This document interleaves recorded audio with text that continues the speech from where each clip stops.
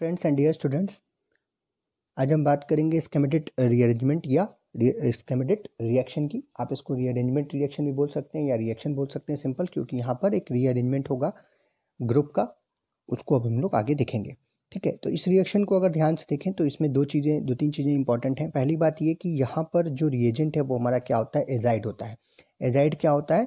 Triple N तीन N जो है, तीन नाइट्रोजन जो है, वो एक साथ जुड़े हों, उसी को हम क्या कहेंगे? एजाइड और ये रिएक्ट करेगा किसके साथ? कार्बोक्सिलिक एसिड के साथ या कार्बोनिल ग्रुप लाइक एल्डिहाइड या कीटोन के साथ ये रिएक्ट कर सकता है। ठीक है? और इसके लिए हमको चाहिए होती है, इस रिएक्शन को रेडी करने के लिए हमको एसिडिक कंडीशन की चाहिए होती है। कोई भी मिनरल एसिड लाइक एससीएल वगैरह हम लोग यहाँ पर यूज़ कर सकते हैं। आप आइए इस रिएक्शन को, एक दूसरी जो इंपॉर्टेंट बात है, वो बहुत इंपॉर्टेंट बात है। कुछ किताबों में सिर्फ़ कार्बोक्सिलिक एसिड के साथ आपको रिएक्शन मिलेगी। कुछ के साथ ये एल्डिहाइड और कीटोन की रिएक्शन आपको दिखेगी। लेकिन ये दोनों के साथ देते हैं। और दोनों के साथ देगा तो दो अलग अलग प्रोडक्ट भी बनते हैं। दोनों की मैकेनिज्म भी थोड़ी सी अलग होती है। तो हम इस वीडियो में दोनों को देखेंगे और दोनों को समझने की कोशिश करेंगे, ताकि कोई भी एग्ज़ाम में आए तो आप उसको क्या कर सकें कर सकें। तो जब भी एमाइ एमीन बनता है, इसमें दो प्रोडक्ट बनते हैं। एक बार एमीन बनता है और एक क्या बनता है एमाइड बनता है। एमीन कब बनता है? जब एजाइड की रिएक्शन कार्बोक्सिलिक एसिड के साथ की जाती है, ठीक है?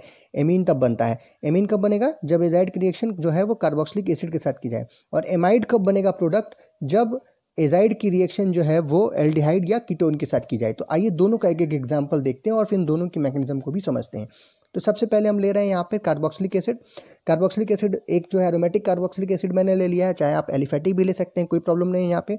जैसे कि ए आर मतलब एरोमेटिक कोई भी लगी होगी यहाँ पे, और वो C O O H group इस कार्बोक्सिलिक एसिड जब हमारा एजाइड जो है वो इसके साथ रिएक्ट करता है तो यहाँ से निकलता है सी ओ टू ठीक है कार्बन डाइऑक्साइड निकल जाता है। यहाँ से निकल जाता है एन टू नाइट्रोजन निकल जाता है। और ये रीअरेंजमेंट क्यों है? क्योंकि जो ये एराइल ग्रुप है, वो किसके पास चला जाता है? कार्बन को छोड़ करके नाइट्रोजन के पास। इसीलिए हम इसको क्या बोल रहे हैं? रीअरेंजमेंट रिएक्शन जो है, बोल रहे हैं। तो ये एराइल ग्रुप किसके पास चल जाएगा? नाइट्रोजन के पास। यह हाइड्रोजन और यह हाइड्रोजन नाइट्रोजन के पास रहेगा। क्या बन जाएगा? एमीन ठीक है? एक एराइल ग्रुप के साथ N two that is amine product बन गया। कब? In the case of carboxylic acid और कुछ बाई प्रोडक्ट्स निकलेंगे। यहाँ से निकलेगा सीओ टू तो देखो सीओ टू निकल गया और यहाँ से क्या निकल जाएगा? नाइट्रोजन। आइए आगे बढ़ते हैं और दूसरा एग्ज़ाम्पल लेते हैं कीटोन और एल्डिहाइड का। जब आप किसी भी कीटोन या एल्डिहाइड के साथ, अब आर वन चाहे आप मिथाइल वगैरह ग्रुप या कोई ग्रुप लगा लेंगे, कोई रोमेटिक ग्रुप लग सकता है, कोई एलिफेटिक ग्रुप लग सकता है तो वो क्या हो जाएगा कीटोन और अगर हाइड्रोजन हो तो क्या हो सकता है एल्डिहाइड तो एल्डिहाइड या कीटोन दोनों को, में से किसी एक को लेकर के जब आप एजाइड के साथ रिएक्शन कराएँगे तो क्या होगा? कि अब एमीन नहीं बनेगा, अब क्या बन जाएगा? एमाइड बनेगा। एमाइड कैसे बनेगा? नाइट्रोजन यहाँ से निकल जाएगा और ये जो एक ग्रुप है, या ये या ये, दोनों में से एक ग्रुप किसके पास ट्रांसफ़र हो जाएगा? हमारे हाइड्रोजन के पास और हमको क्या, एक जो एल्किल ग्रुप है वो किसके पास ट्रांसफ़र हो जाएगा? हमारे सॉरी नाइट्रोजन के पास और हमको क्या मिलेगा? एमाइड मिल जाएगा। ठीक है? तो ये जो ट्रांसफ़र या एक रीअरेंजमेंट भी हो रही है, इस कार्बन को छोड़ करके ग्रुप जा रहा है नाइट्रोजन के पास, इसलिए हम लोग इसको रीअरेंजमेंट बोल रहे हैं। और जब ये कीटोन या एल्डिहाइड के साथ एजाइड रिएक्शन करता है तो क्या देता है? एमाइड देता है। देखिए N C O R group is amide group और यहाँ पर जब वो कार्बोक्सिलिक एसिड के साथ कर रहा था तो क्या क्या दे रहा था? एमीन दे रहा है। ऐसा क्यों होता है? आइए इसकी मैकेनिज्म में करके देखते हैं। तो सबसे पहले हम मैकेनिज्म देखेंगे जब हम एजाइड की रिएक्शन कराते हैं कार्बोक्सिलिक एसिड के साथ। तो आइए करके देखते हैं कैसे हो रहा है। तो कार्बोक्सिलिक एसिड है। कार्बोक्सिलिक एसिड का ये जो ऑक्सीजन है, इसके पास जो है दो अलग से क्या होते हैं? इलेक्ट्रॉन्स होते हैं, जिनको हम क्या कहते हैं? नॉन बॉन्डिंग इलेक्ट्रॉन्स और क्योंकि ये जो ग्रुप है कार्बन के साथ जुड़ा हुआ है तो ये स्लाइड क्या होता है? हमारे पास नेगेटिव होता है। तो जो H प्लस है, जो कि एच या मिनरल एसिड से आ रहा होगा, वो अटैक करेगा किसके ऊपर? इस ऑक्सीजन के ऊपर। और क्या बन जाएगा? H O H H O H मतलब पानी, और पानी के रूप में ये बाहर निकलेगा। जब ये बाहर निकलेगा यहाँ से ठीक है, ये पूरा का पूरा ग्रुप जो है वो बाहर निकल जाएगा। जब ये बाहर निकलेगा तो क्या निकलेगा पानी और इस कार्बन के ऊपर क्या आ जाएगा पॉजिटिव चार्ज क्योंकि ये बॉन्ड क्या हो गया? टूट गया और बॉन्डिंग इलेक्ट्रॉन हमारा ऑक्सीजन लेकर अपने साथ चला गया तो कार्बन के ऊपर क्या आ गया? पॉजिटिव चार्ज अब हमारा एजाइड जो है वो आएगा। एजाइड को हमने खोल करके लिखा हुआ है। तो एजाइड में आप देख रहे हो कि ये जो नाइट्रोजन आपको दिख रहा है, ये क्या है? नेगेटिवली चार्ज और कार्बन के ऊपर क्या दिख रहा है अभी? पॉजिटिव चार्ज तो सिंपल क्या करेगा? ये कार्बन के ऊपर क्या कर जाएगा? अटैक कर जाएगा। अटैक करके क्या करेगा? यहाँ पर जुड़ जाएगा। आइए जोड़ लेते हैं। जोड़ करके हमने इसको यहाँ पे लिख लिया। जब ये नाइट्रोजन इस कार्बन के साथ इस पे अटैक करके यहाँ पे जुड़ जाएगा तो आप देख रहे हो कि इस नाइट्रोजन के ऊपर अभी भी नॉन बॉन्डिंग इलेक्ट्रॉन्स उपलब्ध हैं या लोन पेयर ऑफ़ इलेक्ट्रॉन जो है वो उपलब्ध है। तो अब यहाँ पर कुछ चीज़ें होंगी। पहली चीज़ यह होगी कि यहाँ से ये जो आपका दो एन है, ये आपस में इस नाइट्रोजन वाले बॉन्ड को क्या करेंगे? छोड़ेंगे और ये नाइट्रोजन के रूप में क्या हो जाएँगे? बाहर निकल जाएँगे। ये बॉन्ड ट्रांसफ़र हो जाएगा कहाँ पे? इस कार्बन के ऊपर और यहाँ पे नाइट्रोजन और ऑक्सीजन सॉरी नाइट्रोजन और कार्बन के ऊपर क्या आ जाएगा? डबल बॉन्ड इस डबल बॉन्ड के बनने की वजह से कार्बन के ऊपर अभी कितने बॉन्ड हैं? एक, चार तो दिख रहे थे, एक और आ जाएगा तो पाँच हो जाएगा।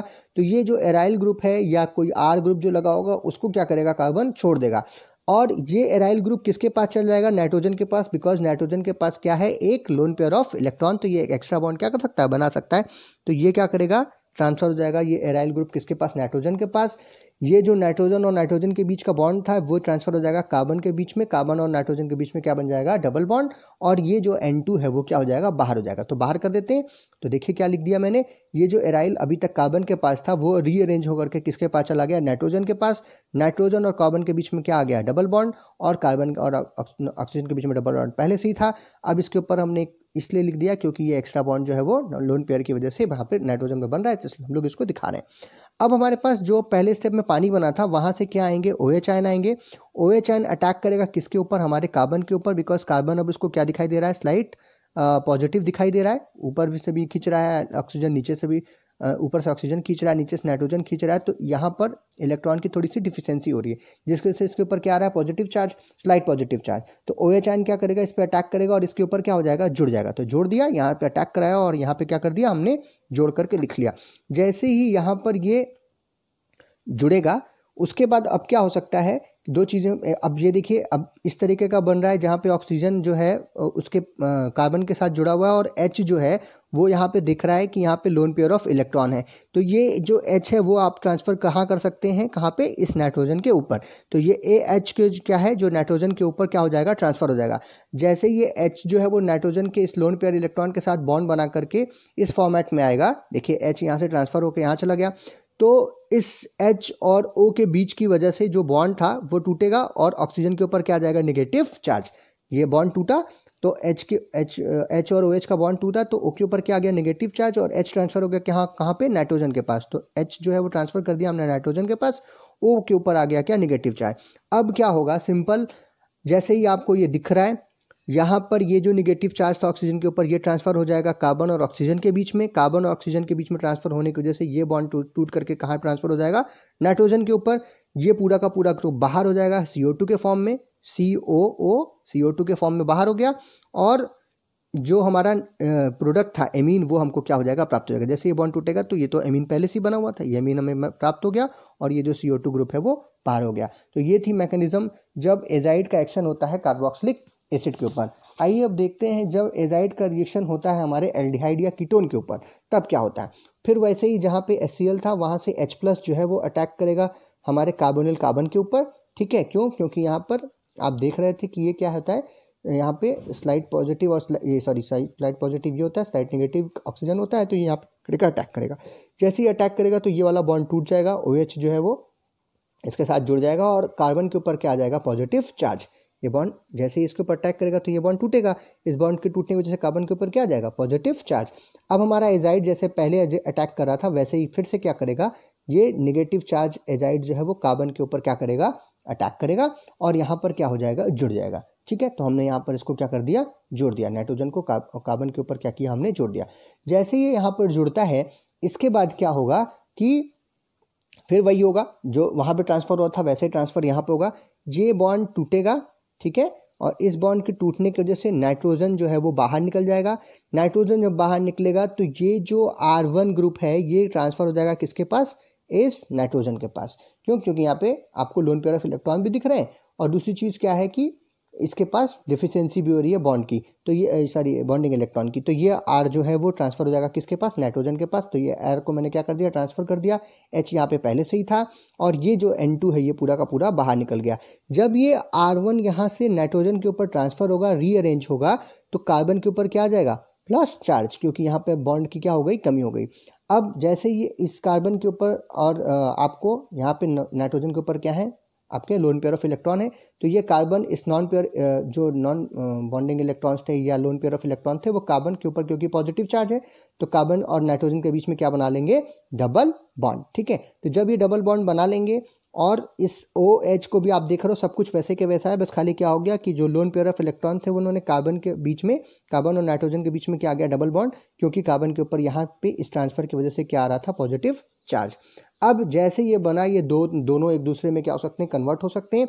अगर ये ओ एच में से ये बॉन्ड टूटे और ट्रांसफ़र हो जाए कहाँ पे कार्बन और ऑक्सीजन के बीच में डबल बॉन्ड के फॉर्म में अगर ये डबल बॉन्ड बनाता है तो हाइड्रोजन क्या होगा? यहाँ से छोड़ करके चला जाएगा। हाइड्रोजन अगर छोड़ के जाता है तो हमको हमारा प्रोडक्ट मिल जाएगा क्या? एमाइड वापस हाइड्रोजन आप दे देंगे तो वापस ये किसमें हो जाएगा? कन्वर्ट तो ये एक दोनों एक दूसरे से रेजोनेंस फॉर्म में या एक दूसरे में क्या होते रहते हैं? कन्वर्ट होते रहते हैं। कैसे होंगे? ये हाइड्रोजन जो है वो यहाँ से निकल जाएगा और ये जो हाइड्रोजन और ऑक्सीजन के बीच में बॉन्ड था वो ट्रांसफ़र जगह कहाँ? कार्बन और ऑक्सीजन के बीच में और हमको हमारा प्रोडक्ट एमाइड मिल जाएगा। तो यही थी स्कीमेटिक रीअरेंजमेंट रिएक्शन जब कार्बोक्सिलिक एसिड के साथ करते हैं एजाइड के साथ तो क्या मिलता है एमीन जब कीटोन या एल्डिहाइड के साथ एजाइड के साथ कर सकते हैं तो क्या मिलता है एमाइड दोनों की मैकेनिज्म भी हमने डिस्कस कर ली, दोनों को हमने देखा कि क्यों, किस तरीके से रिएक्शन होती है। तो इस रिएक्शन से रिलेटेड कोई भी क्वेश्चन होगा तो आप कमेंट बॉक्स में पूछेगा मैं उसको आंसर करने की कोशिश करूँगा वीडियो को देखने के लिए बहुत बहुत धन्यवाद।